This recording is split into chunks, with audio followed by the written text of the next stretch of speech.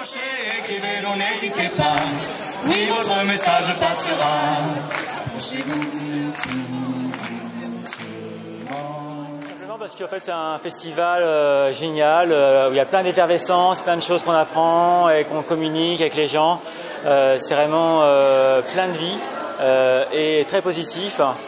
Et c'est pour ça que je serai là le 19 et 20 septembre à Nantes pour Alternative à Nantes. N'hésitez pas. Oui, votre message passera. Doucement.